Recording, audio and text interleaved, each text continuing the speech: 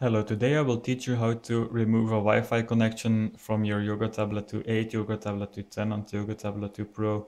You may want to remove your Wi-Fi connection um, if you have changed your wireless password or have changed the security settings or maybe your Wi-Fi simply doesn't work anymore so you want to reset it maybe on your tablet if nothing else helps.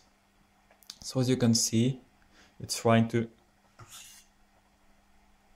as you can see it's trying to authenticate with my access points but it does an authentication problem.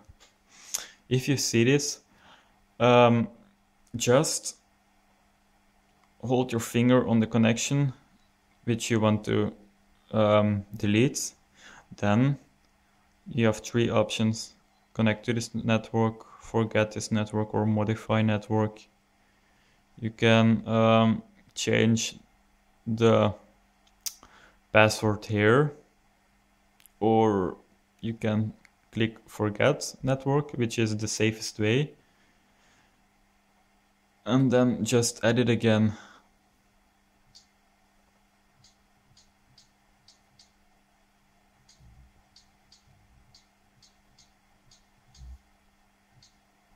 And this was my new wireless network password.